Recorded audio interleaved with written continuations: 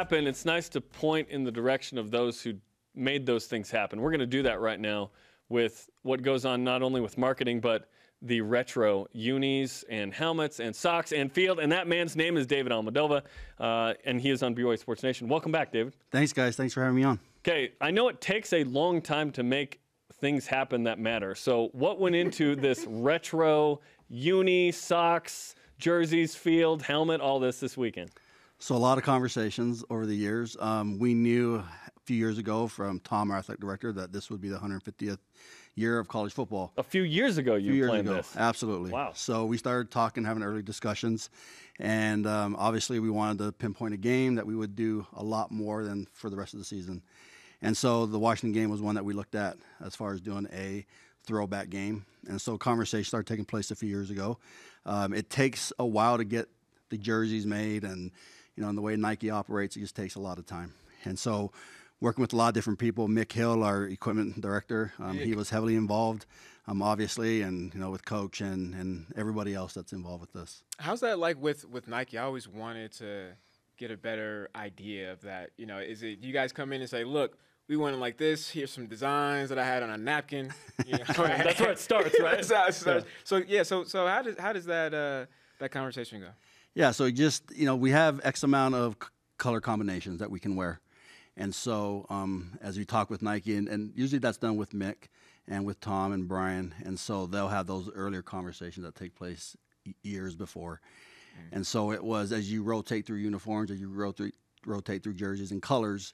Um, obviously, the white one when Kalani was hired, that was one of the first things we had talked about is bringing the white jersey with royal ro- royal colors back, and so that started. I mean, he's been there four years now, so. Well, Yeah. What are those uh, color combinations, by the way? Royal, navy, white. Is that it, or there, is Right. is black out of the mix? Is that still a thing? Currently, currently out of the mix. Okay. currently, Okay, it was in there a few years ago. When are we going to see the royal helmet? Tan's out, right? No tan. Tans out. Thank you. Tans out. There's, we, there's, Whenever I seen anything with tan, I'm like, please. there's ten. Please, no. Oh, back in the oh, in the, yeah, it's a. It was Before a, you got here, It was no. a dark oh, time. Oh, okay. It was a really dark time. That's weird. Tan. Yeah. Okay. So who came up with it, this specific design for? And they, and let's let's be specific. It's not like 1964. It's 60s and 70s, right? Right. It was a combination of, of the logo and what transpired back in the 60s.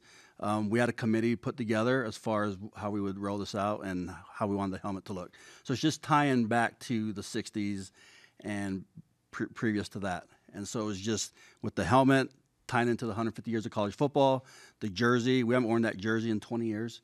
And so let's bring that back. Um, the Socks? socks.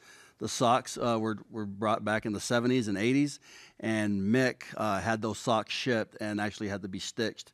The company that made the socks back in the 70s is the same company that made the socks for our game on Saturday. Wow. How did we track that down? That's incredible. Mick Hill. Mick Hill tracked Hill, it down. absolutely. Probably saw How some do we tag. get how do we get some of those uh, socks? Exactly. Well- yeah. I'm trying to find that out too. exactly. How about the field? Because there's Field. kind of these retro diamonds in Yep. blue, right? So that was an end zone that we used back in the 60s as well. And so again, meeting with our committee, meeting with our grounds crew to make sure we could do this. You know, it's a tight turnaround from last week's game.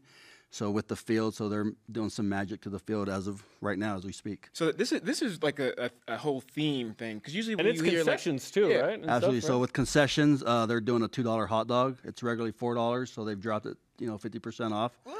And so we'll have the hot dogs. but the food standards will be 2019, right? yes, It yes. will be 1963. we couldn't bring everything down to fifty cents and a dollar. So should should like fans should they come like dressed in like 60s 70s?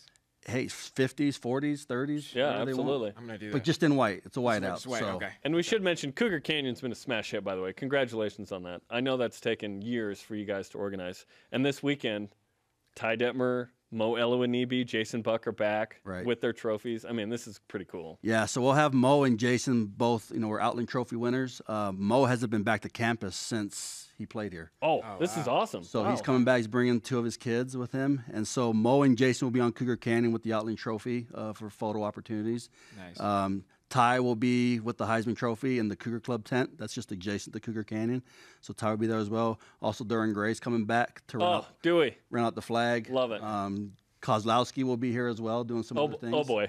Yeah.